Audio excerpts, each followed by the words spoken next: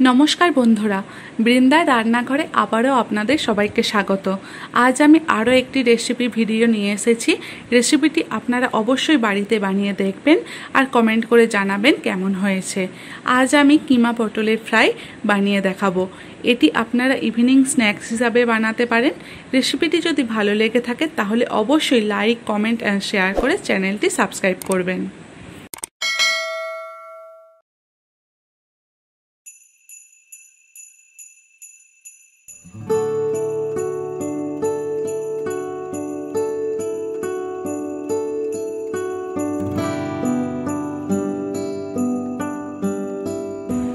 একটা পেঁয়াজ কোচানো, হাফ চামচ আদা বাটা, হাফ চামচ রসুন বাটা, কাঁচা লঙ্কা কুচি, জিরে আর ধনে গুঁড়ো,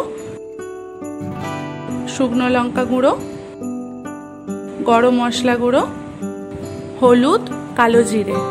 আর নিয়েছি চিকেন কিমা দুশো গ্রাম, সল্ট, বেসন বাদাম আর বেকিং সোডা। আর নিয়েছি ভাজার জন্য রিফাইন তেল আর ছটা পটল নিয়েছি। সবকটা আমি চেঁচে কেটে নিয়েছি। একটা আমি দেখাবো কীভাবে কাটতে হয়।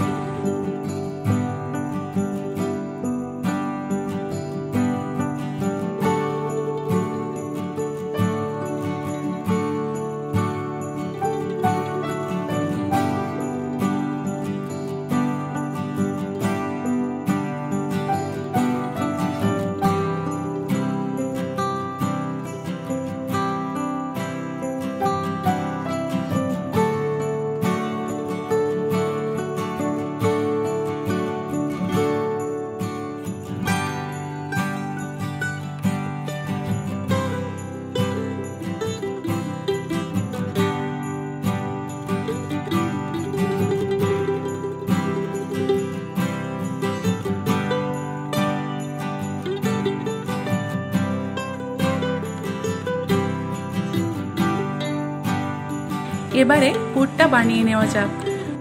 কড়াইতে তেল দিয়ে গরম করে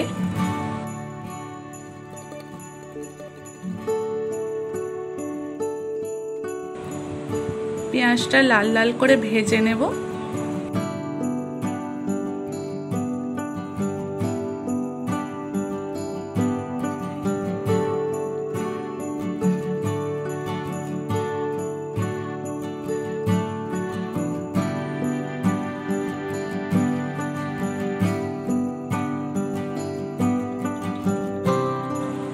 এবারে রসুন বাটা আর আদা বাটাটা দিয়ে কষে নেব।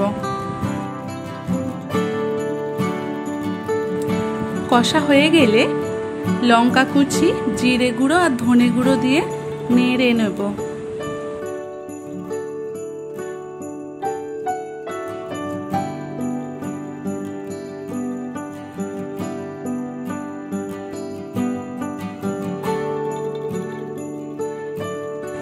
এবারে হলুদ গুঁড়ো।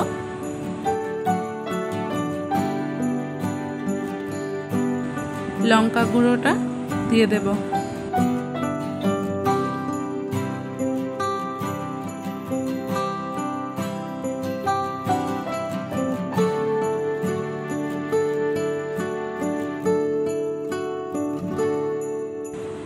কিমাটা তুলে দেবো।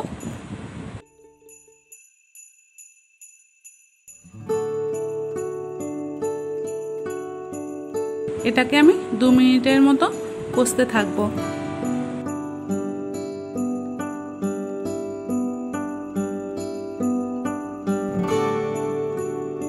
কষা হয়ে গেলে এক চামচ টমেটো সস দিয়ে দেব।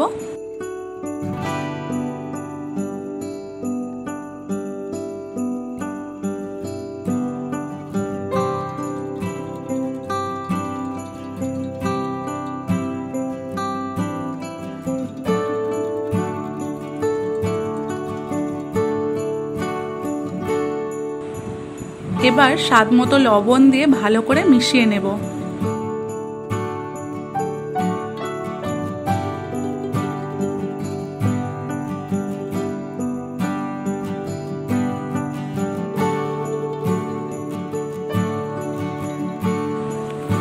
এবার সামান্য পরিমাণে জল দিয়ে মাংসটা সিদ্ধ করে নেব।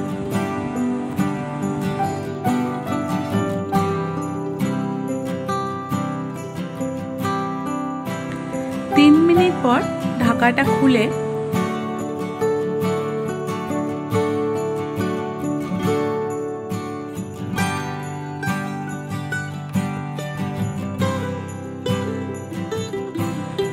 গরম মশলাটা দিয়ে দেব।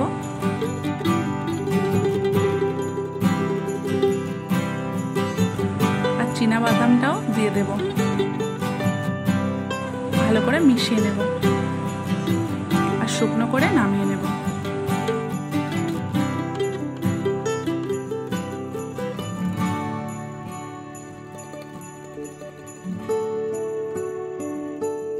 এবারে আমি কিমার পুরটা পটলে ভরে নেব।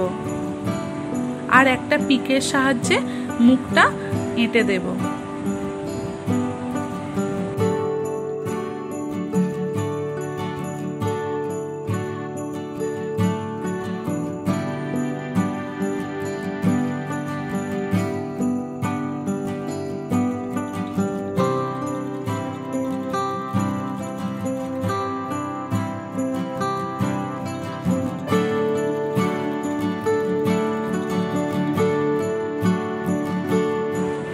বেসনে আমি বেকিং সোডা ও কালো জিরে মিশিয়ে নেব।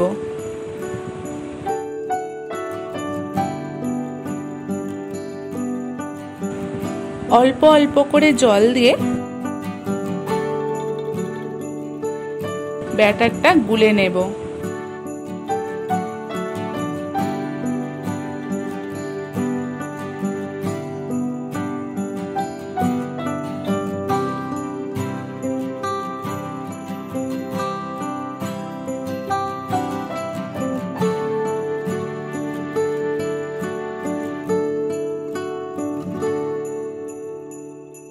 বেসনে স্বাদ মতো লবণ দিয়ে দু থেকে তিন মিনিটের জন্য ব্যাটারটা ফাটতে থাকব।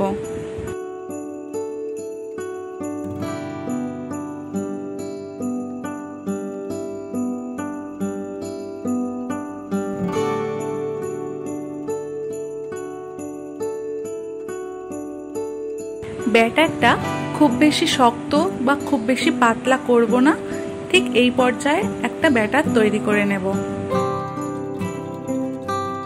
এবার আমি পটলগুলি বেসনে ডুবিয়ে ডিপ ফ্রাই করে নেব।